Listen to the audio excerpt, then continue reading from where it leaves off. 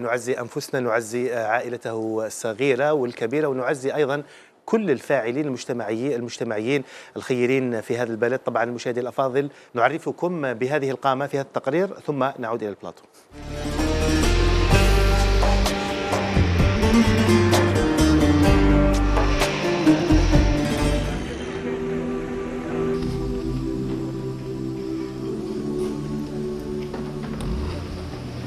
فقدت الجزائر فجر الجمعة الماضي.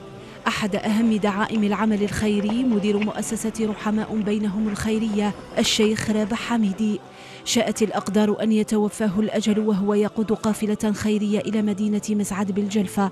المرحوم اتخذ من اليتيم والأرملة وفئة كبار السن محورا لاهتماماته فكان الساعي عليهم طوال مسيرته. سخر حياته للعمل الخيري من خلال عديد النشاطات على غرار قوافل المساعدة الموجهة للقرى والمداشر بمختلف الولايات. وتنظيم عشرات المخيمات الصيفية لفائدة الأيتام من مختلف ولايات الوطن خاصة أيتام الجنوب. وأعمال أخرى لا تعد ولا تحصى. جعلت من الرجل رحمه الله أحد أهم دعائم العمل الخيري في الجزائر. كون كقدوة يعني لبعض الجمعيات آه، باش يهتموا بهذه الفئة. وإحنا الرسالة تاعنا كذلك أننا نتواصل مع هذا اليتيم. غادرنا عم رابح دون سابق إنذار. توقف القلب الذي كان ينبض حبا للأيتام. توقف القلب الذي كان يسع كل من حرم حنان أبويه.